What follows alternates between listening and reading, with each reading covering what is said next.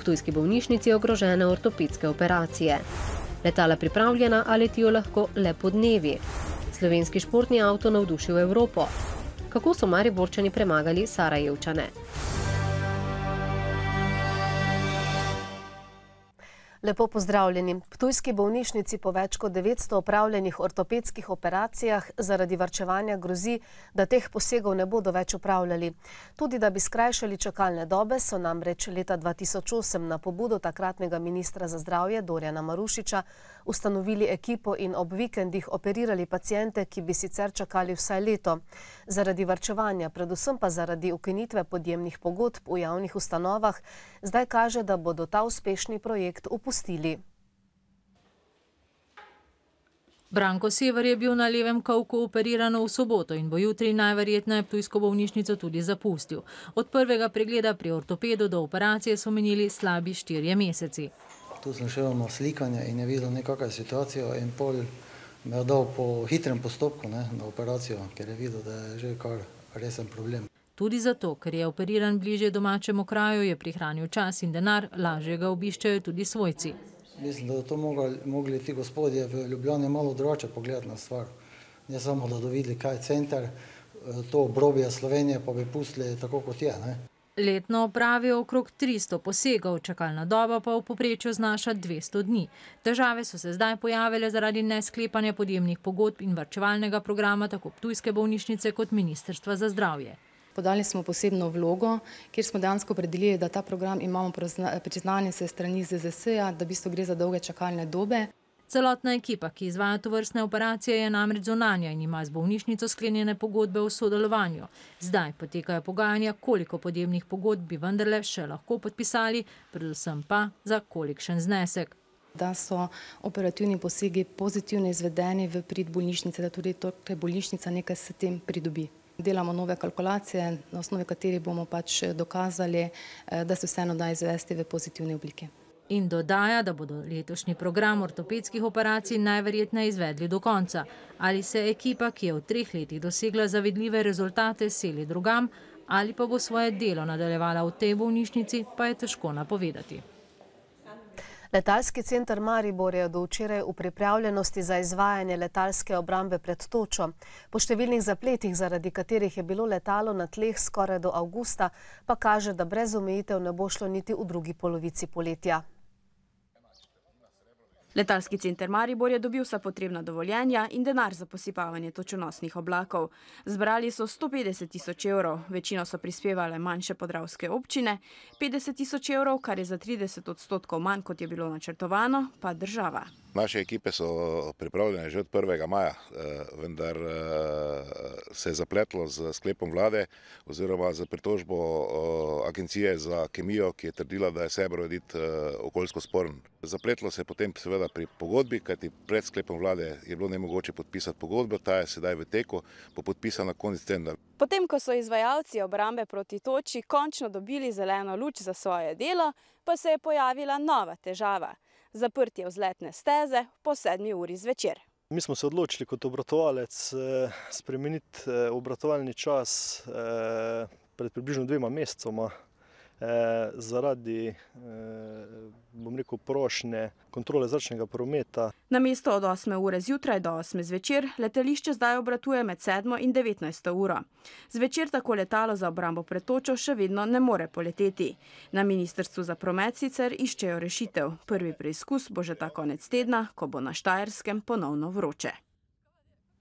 Razlogi za odločitev Vatikana, da mora upokojeni ljubljanski načkov Alois Uran zapustiti Slovenijo, še vedno niso znani. Vrh slovenske cerkve ukrepa ne želi komentirati.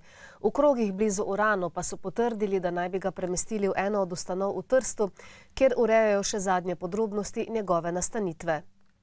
Sledijo še druge domače vesti. Predsednik državnega zbora Gregor Virant je opovdne podpisal odlog o razpisu volitev za predsednika republike. Novega predsednika bomo izbirali na Martinovo nedeljo 11. novembra. Roki za volilna opravila bodo začeli teči 20. augusta, ko bo že mogoče vlagati kandidature. Te so že napovedali zdajšnji predsednik Danilo Tirk, poslanec SD-ja Borut Pahor, evropski poslanec iz vrst SDS Milan Zver ter neodvisna kandidata Monika Malešič in Marko Kožar. Koalicija okoljevarstvenih organizacij in posameznikov Ustavimo Tež 6 je zbrala 2700 podpisov za pobudo za referendum o zakonu o državnem poroštvu za posojilo za gradnjo šestega bloka termoelektrarne Šoštan. 40 tisoč podpisov za referendum bodo začeli zbirati ob začetku septembra, referendum pa bi lahko bil razpisan na začetku oktobra.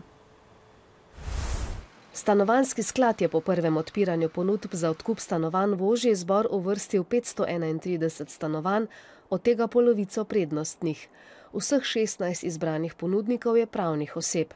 V ožjem izboru po prvem odpiranju ponudb, ki je bilo 15. junija in na katerega je prispelo 89 ponudb za okoli 1000 stanovanj, skupno vrednih okoli 143 milijonov evrov, je 531 stanovanj 156 ponudnikov, 8 ponudb pa še proučujejo.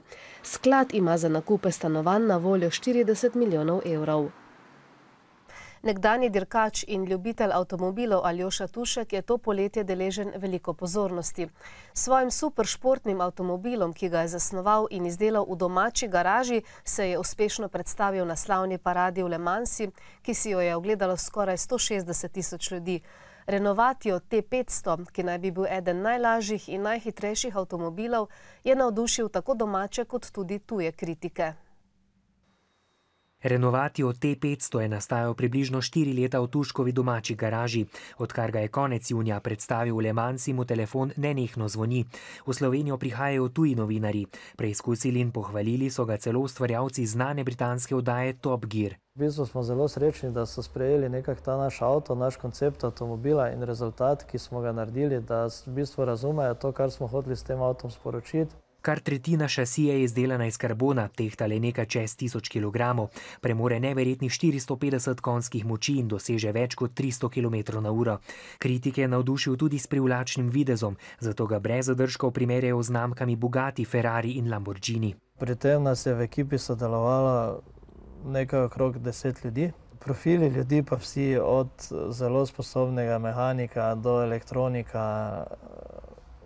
kaj ne rečem, ključavničarji. Izdelati nameravajo 30 vozil, cena je 300 tisoč evrov, a kot zatrjuje Tušek, naročil ne manjka. Zaenkrat smo se odločili, da bomo našo prodajo štartali v Angliji in sicer ravno v teh dnevih uh, smo v usklajevanju pogodbe z angliškim dilerjem, ki bi naj naročil šest avtomobila.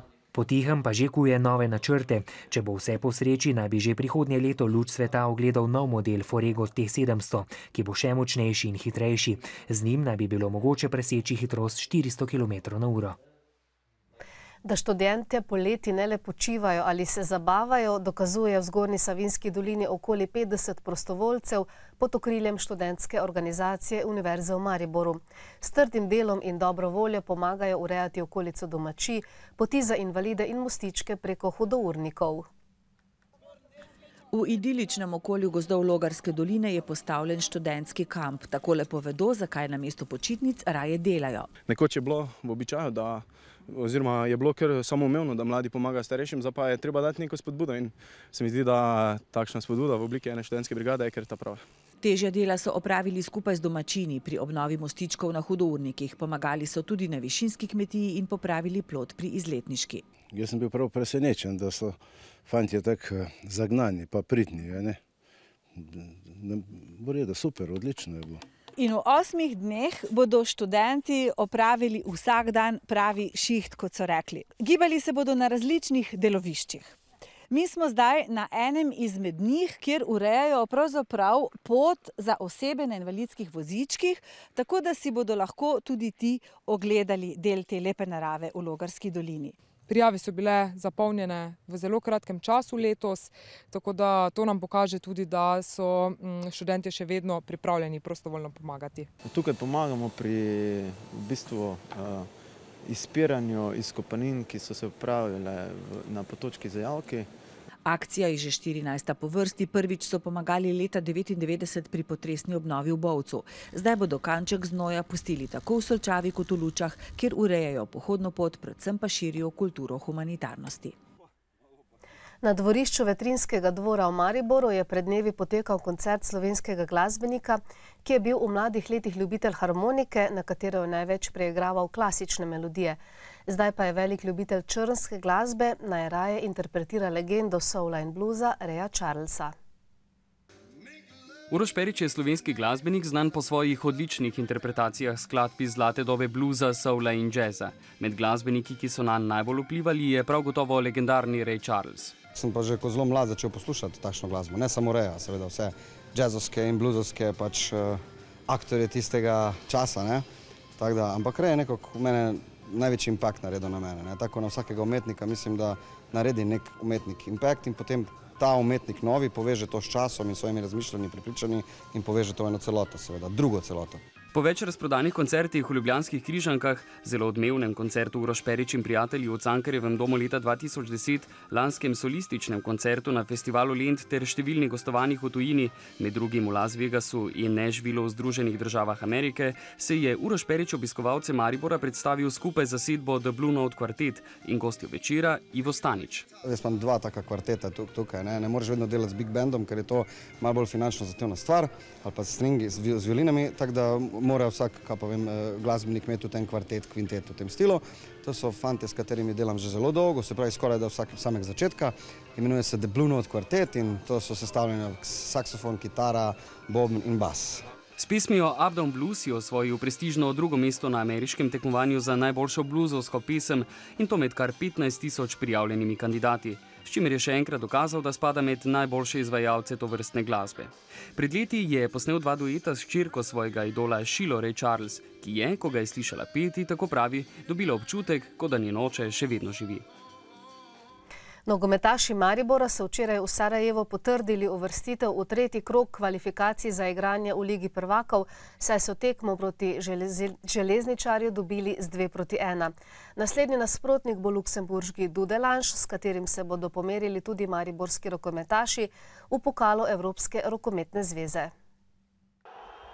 Povratna tekma med železničarjem in Mariborom je imela nenavaden zaključni del, saj so od 63. minute domači nogometaši igrali le z osmerico.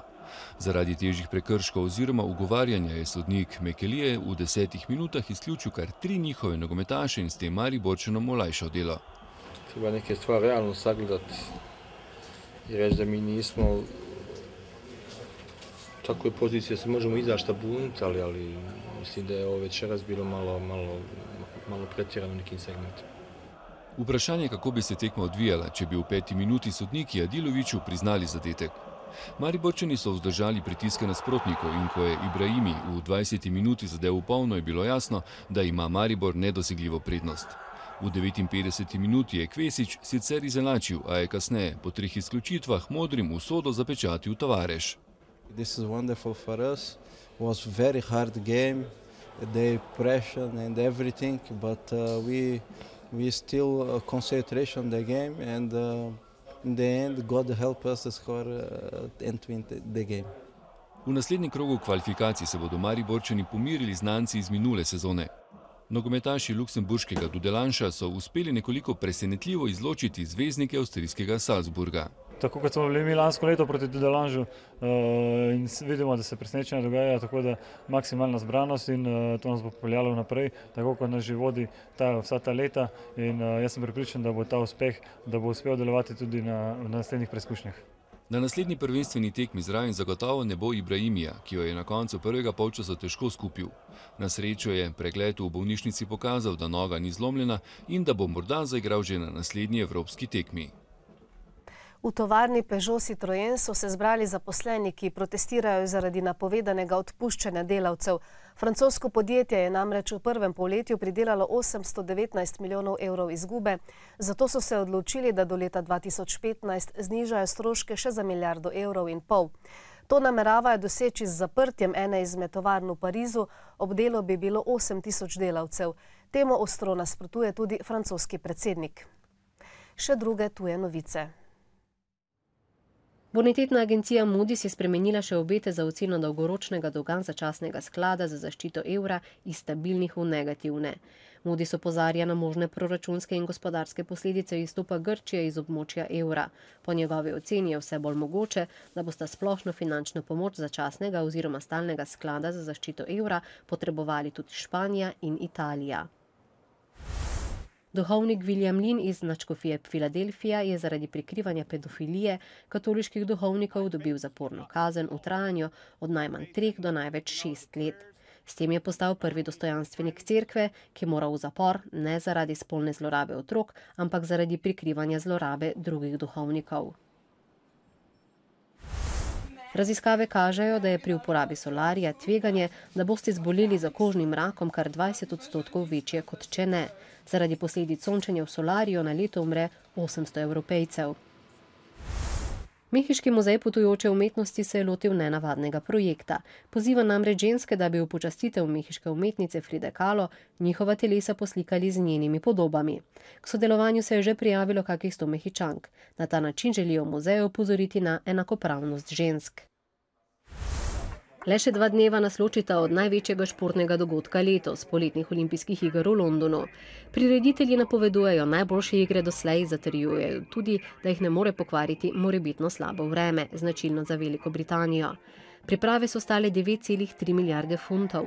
Na igrah bo v 26 športih na 34 prizoriščih nastopilo 10.500 športnikov, ki se bodo potegovali za 300 kompletov kolajn.